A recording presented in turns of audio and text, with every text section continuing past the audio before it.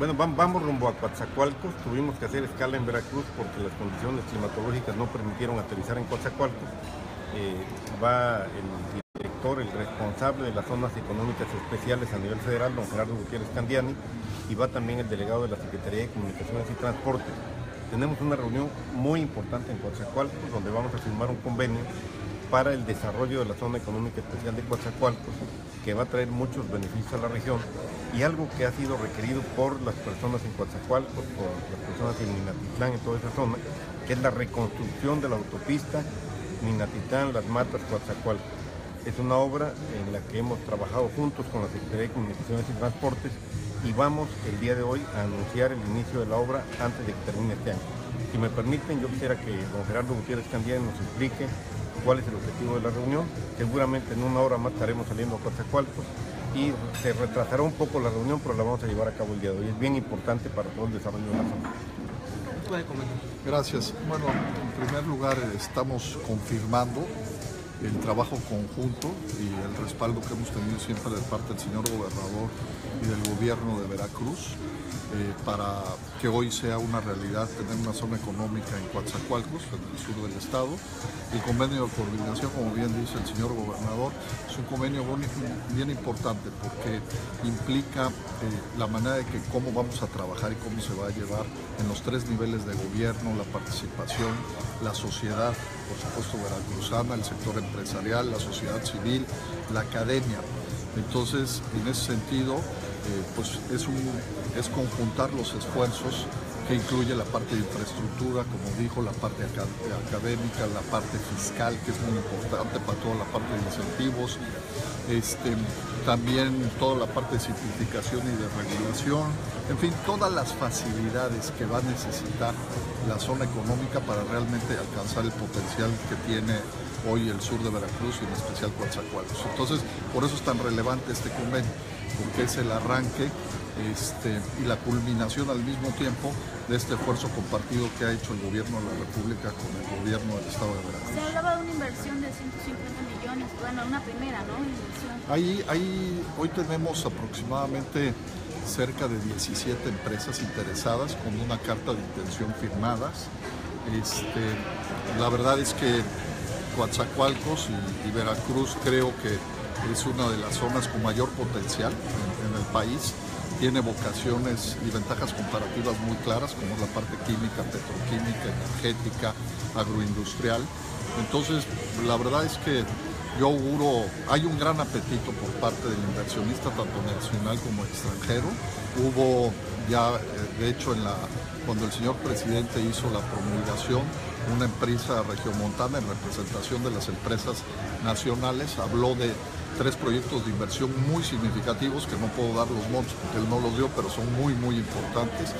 Y como les digo, yo estoy seguro que en el corto plazo, este, Coatzacoalcos y la zona va a tener ya eh, la posibilidad de, hacer anuncios muy importantes en cuanto a la inversión y la generación de empleo.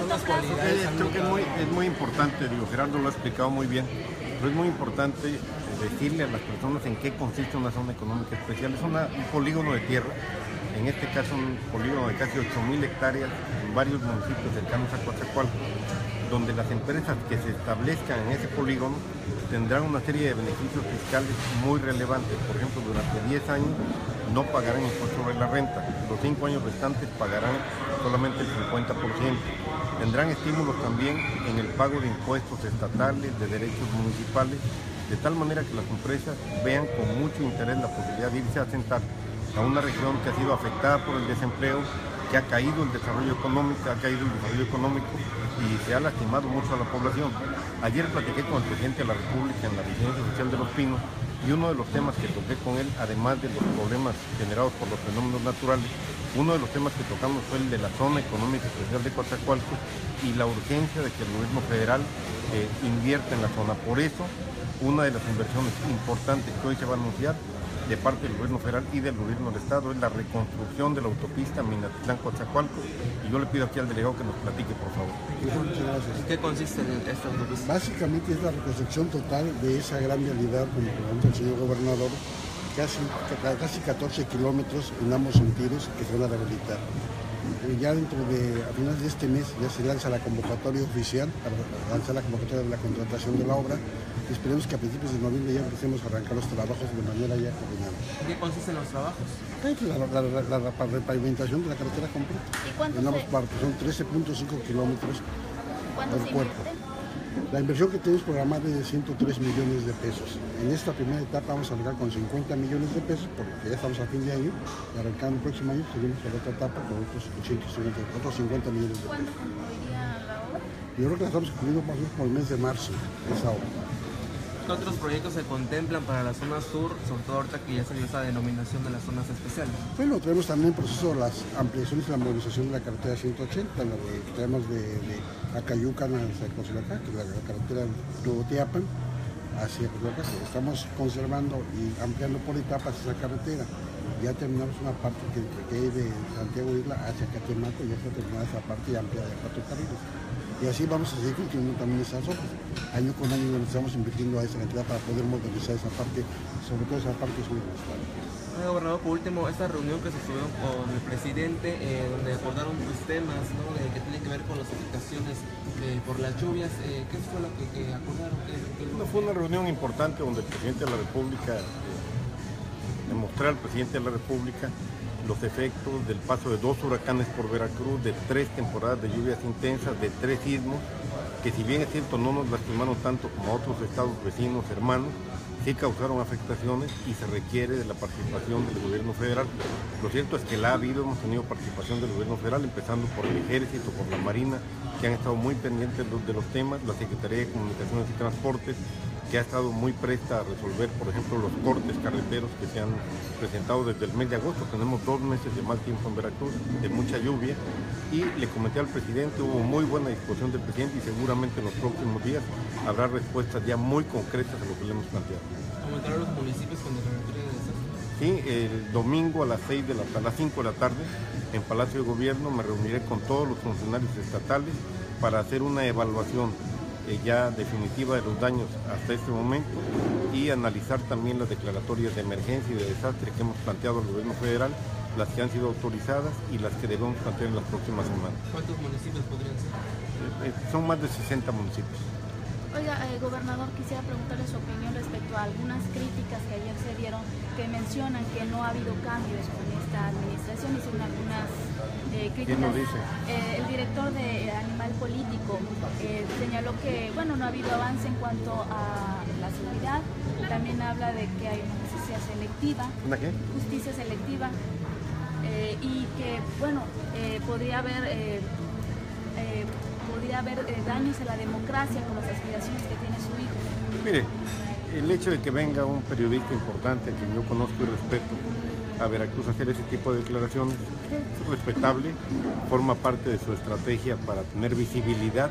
No coincido obviamente con él, Veracruz ha cambiado radicalmente en 10 meses, estoy feliz de haber logrado ese cambio. Algo ha cambiado y la población lo percibe. Ha cambiado en términos de manejo honesto de los recursos, no hay una sola denuncia por corrupción en casi un año de gobierno.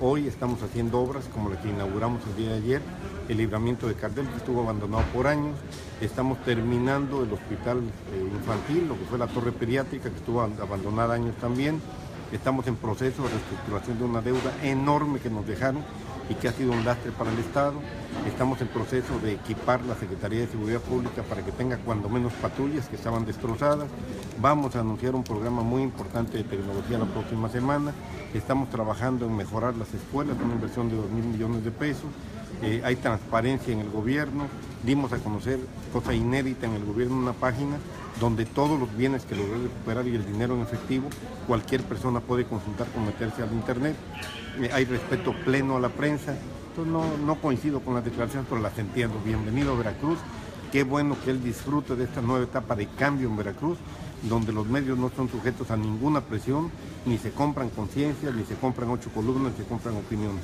Qué bueno que vengan periodistas como él, siempre tendrá un ambiente adecuado en Veracruz para expresar su El opinión. tema de seguridad, El tema de seguridad es un tema que nos preocupa a todos. Es un tema que desafortunadamente a nivel nacional constituye la principal preocupación. Y es un tema en el que el gobernador trabaja absolutamente todos los días. Todos los días desde muy temprano, 6 de la mañana recibo el primer reporte en materia de seguridad estamos todo el día pendientes, los domingos todo el día lo dedico desde las 9 de la mañana hasta las 3, 4 de la tarde a trabajar sobre ese tema y vamos a avanzar de manera muy consistente y muy visible en las próximas semanas en el equipamiento de los policías, el equipamiento tecnológico también en materia de seguridad. Vamos a continuar la depuración de las policías y hacer todo lo que esté en, nuestras manos para mejorar las condiciones de seguridad. Hay zonas del Estado donde no ha mejorado la seguridad, pero varias zonas más donde es totalmente distinto el ambiente, el ambiente que se vivía a finales del sexenio anterior y el que hoy se vive.